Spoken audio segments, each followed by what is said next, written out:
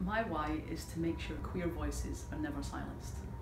Through the research that I do, I think I have fairly big aims and objectives, uh, which is to inspire people about the study of the queer past and also to inspire people about the study of real people who have lived through moments of extreme change, who have maintained their private lives, their private loves, their private triumphs against backdrops of sometimes unimaginable upheaval and unimaginable struggle.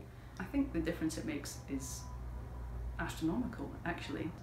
It matters. The history of these people matters. It matters to me, and I hope it matters to students, I hope it matters to anybody who's interested in history.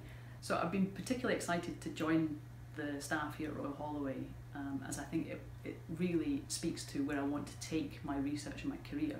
Firstly, I was really drawn to Royal Holloway because of our public history presence, and I'm delighted to be part of the public history programme here, um, the Public History Masters.